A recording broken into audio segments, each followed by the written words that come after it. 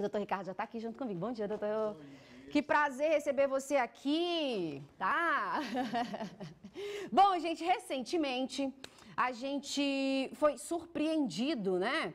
Com a nossa Jaqueline Góes de Jesus. Acredito que vocês já devem ter ouvido falar sobre ela aí nas redes sociais, porque ela tomou uma repercussão mundial, não digo nacional, né, doutor Ricardo? Uma repercussão mundial por estar presente dentro de uma pesquisa científica em torno da vacina da Covid-19.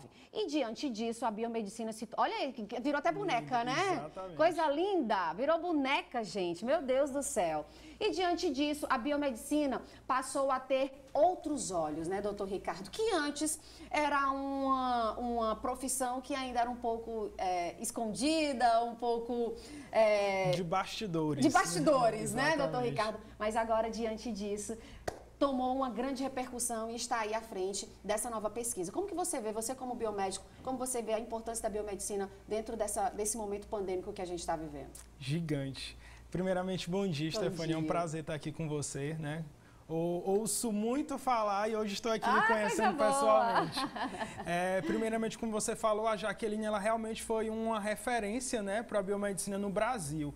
O curso ele já existe há mais ou menos mais de 50 anos, ele surgiu na década de 50, Olha só. mas ele entrou em vigor a partir da década de 60. E aqui no Piauí a gente tem desde o ano de 2006, a gente tem turmas formando biomédicos mas realmente a gente ficava muito nos bastidores, né? O biomédico ele fica muito atrás de uma bancada laboratorial, justamente fazendo pesquisas. E a Jaqueline Góes, né, assim como também o doutor Bactéria, muito doutor conhecido Bactéria, na TV, ele começou a trazer aí a mídia ao biomédico, mas é um profissional extremamente essencial. E ela, né, ela foi crucial no momento da Covid. Né? Muitos não sabem, mas um, a principal forma de se diagnosticar micro-organismos, agentes, infec agentes infecciosos, é através de testes de biologia molecular, como o PCR, que ficou muito conhecido, uhum. que as pessoas falavam. Que era, na verdade, o mais eficaz, né, doutor? É, não é nem que seja o mais eficaz, mas é quase isso, Stefano. O que acontece é porque dependendo do momento da infecção, a gente tem o um melhor teste a ser feito.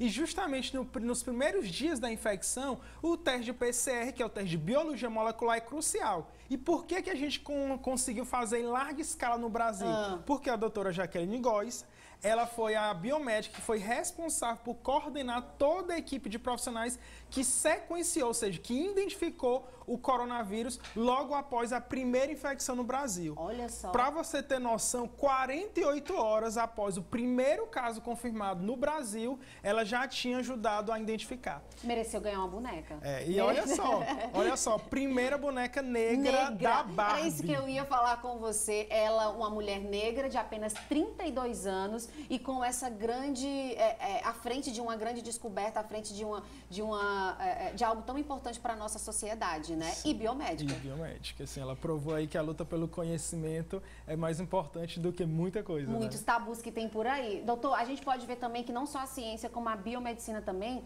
é, vem tendo pouco investimento, né, para estudos e pesquisas. Exatamente, né? Então é uma dificuldade que a gente enfrenta.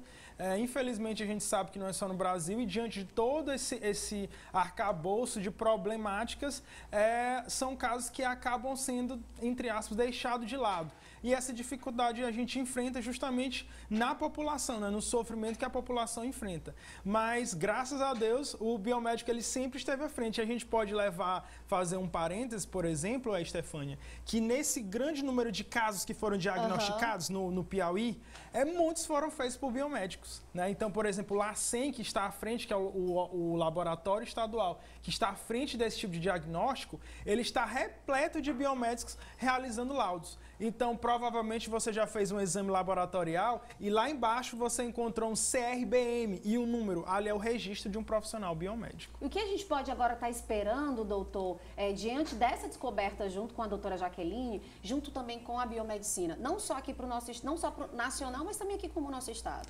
Exatamente. Né? A gente espera justamente que a biomedicina esteja cada vez mais sendo vista, reconhecida, né? porque ela de fato já existe. Né? Inclusive, nós temos inúmeras lutas, como é um caso da luta aqui recente uhum. no município de Teresina, que é a luta para que nós possamos ser incorporados dentro do plano de cargos e salários do município. O que isso quer dizer, Ricardo? Nome feio, né? Isso simplesmente significa o quê? Que um biomédico ele só pode assumir, por exemplo, um concurso público se estiver na lei é, municipal. E nós estamos na luta, inclusive recentemente a gente teve uma audiência na Câmara de Vereadores e a gente espera, por exemplo, que nesse mês, que é o mês do biomédico... Né, a gente está tá no mês do biomédico? Exatamente. Dia 20 agora é o dia do biomédico, a gente espera que seja um mês repleto de notícias boas para nós profissionais biomédicos. Gente, né? que bacana. E a gente espera também que a biomedicina, junto com a ciência, possa sim trazer é, uma melhor qualidade de vida para todo mundo, né? Com mais Exatamente. e mais descobertas, né, doutor Ricardo? Exatamente. A gente pra... também espera isso. Vai que, que, que, realmente chega aí essa cura é, é, total para a gente voltar a ter a nossa vida, voltar a ter aquele sorriso que a gente tinha antes, sem estar tão todo coberto. Porque a gente ainda tem que estar se prevenindo. Exatamente, né? E agradecer, né, mais uma vez ao convite, é, reforçar, por exemplo, que não só no, no diagnóstico, né, mas também na identificação de vacinas, né, nós também, os biomédicos, eles foram altamente cruciais, não só no Brasil, mas em todo o mundo. Né? Inclusive, nós temos inúmeros biomédicos, ah, inclusive aqui do Piauí, espalhando conhecimento sobre esse tema fora do país. Ah, é? Exatamente. Que legal, coisa linda. Então, então a gente é referência. A gente é referência. O doutor Gabriel Ferreira está aí no Canadá, em todo mundo, espalhando conhecimento sobre a infectologia. Nossas, parabéns. Doutor, muito obrigado por você estar aqui hoje, trazendo um, um breve conhecimento. A gente falando sobre esse feito, que foi um feito super importante não só para os brasileiros, mas para o mundo inteiro, porque, porque não também levar é, a biomedicina, a importância da biomedicina né, e as descobertas aí é, compartilhadas com os nossos piauienses. Coisa né? Ela é da Bahia, né? A Jaqueline Góes, isso. Jaqueline, Jaqueline Góes é baiana. Quem sabe o doutor Ricardo aí é piauiense também? gosto, gosto, viu, doutor? Obrigada, bom dia, tá?